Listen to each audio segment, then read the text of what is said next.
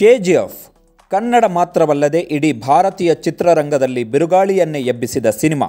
Rocking star ಯಶ್ಗೆ Rocky Bhai ಪಟ್ಟ ತಂದುಕೊಟ್ಟ super duper mega all time hit movie.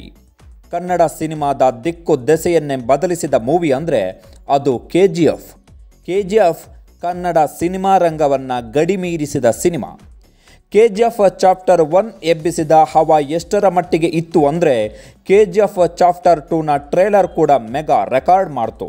ದಾಖಲೆಗಳ ಮೇಲೆ ದಾಖಲೆ ಬರೆದು ಹೊಸ ಹೊಸ ನಿರೀಕ್ಷೆಗಳನ್ನು ಅಭಿಮಾನಿ ಕೋಟಿಗಳಲ್ಲಿ ಹುಟ್ಟುಹಾಕಿದೆ K G F chapter two. ಹಾಗಾದರೆ K G F chapter two cinema ಯಾವಾಗ ಬರುತ್ತೆ?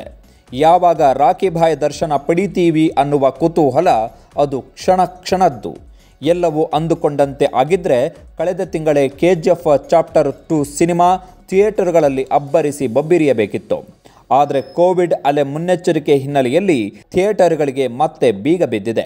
ಹೀಗಾಗಿ K G F chapter two ಬಿಡುಗಡೆ ಮತ್ತಷ್ಟು ವಿಳಂಬವಾಗಿದೆ. ಈ ನಡುವೆ ಸುದ್ದಿಯೊಂದು ಹರಿದಾಡ್ತಿದೆ. ಅದೇ ಥಿಯೇಟರ್ನಲ್ಲಿ K G F chapter two release ಆಗಲ್ವಾ ಅನ್ನೋದು. ಕೆ ಜಿ ಎಫ್ ಚಾಪ್ಟರ್ ಟೂವನ್ನು ಮನೆಯಲ್ಲೇ ಕೂತ್ಕೊಂಡು ನೋಡಬೇಕಾ?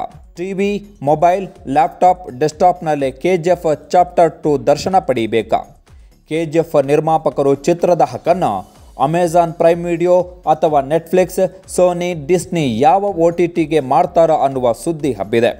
ಮೂಲಗಳ ಪ್ರಕಾರ O T ಟಿಯಲ್ಲೇ K G F chapter two cinema release ಮಾಡಿ ಅಂತ ನಿರ್ಮಾಪಕರಿಗೆ ಒ ಟಿ ಟಿ ಪ್ಲ್ಯಾಟ್ಫಾರ್ಮ್ನವರು ದುಂಬಾಲು ಬಿದ್ದಿದ್ದಾರಂತೆ. ಅಂದ ಹಾಗೆ O T ಟಿಯಲ್ಲಿ K G F chapter two ಬಿಡುಗಡೆಗೆ ಕೊಟ್ಟಿರುವ ಆಫರ್ ಎಷ್ಟು ಗೊತ್ತಾ? ಬರೋಬ್ಬರಿ ಇನ್ನೂರ ಐವತ್ತೈದು ಕೋಟಿ.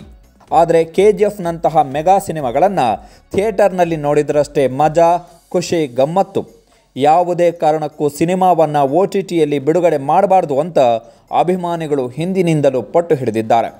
ಅಭಿಮಾನಿಗಳ ಈ ಆಸೆಯನ್ನು ಈಡೇರಿಸುತ್ತಿದ್ದಾರೆ ರಾಖಿ ಭಾಯ್. ಒ ಟಿ ಟಿಯಲ್ಲಿ ಸಿನಿಮಾ ರಿಲೀಸ್ ಮಾಡೋದು ಬೇಡ ಥಿಯೇಟರ್ನಲ್ಲೇ ರಿಲೀಸ್ ಮಾಡೋಣ ಅಂತ ಹೇಳಿದ್ದಾರಂತೆ. ಹೀಗಾಗಿ ಒ ಟಿ ಟಿಯವರು ಕೊಟ್ಟ ಇನ್ನೂರ ಐವತ್ತೈದು ಕೋಟಿ ಆಫರನ್ನು ನಿರ್ಮಾಪಕ ಪ್ರಶಾಂತ್ ನೀಲ್ ನಿರಾಕರಿಸಿದ್ದಾರಂತೆ. ಅಂದರೆ ಥಿಯೇಟರ್ನಲ್ಲೇ K G F chapter two release ಆಗೋದು ಪಕ್ಕಾ?